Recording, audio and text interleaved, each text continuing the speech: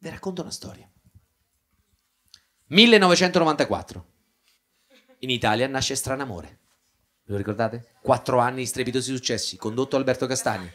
I partner si lasciavano e uno dei due poteva andare in diretta televisiva a cercare di conquistarlo. Quattro anni di strepitosi successi, fino a che nel 98, forse a causa senza di colpa per un programma de merda, Alberto Castagna si sente male.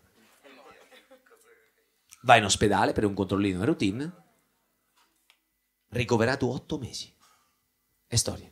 Esce dall'ospedale, denuncia il medico che l'aveva ricoverato, perde la causa, circostanza mai chiarita, fa tre anni di decenza a casa e poi torna alla conduzione nel 2001.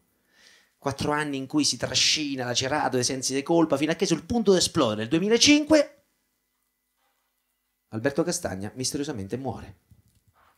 2005, dice qualcosa?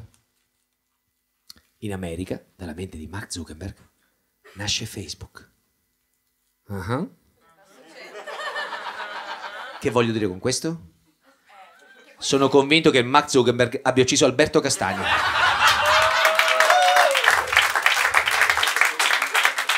Mi manca tanto così per provarlo. Io davanti a queste telecamere voglio dire che mi manca... Da... Mark, la tua storia è finita, vaffanculo. Ti sto col fiato sul collo.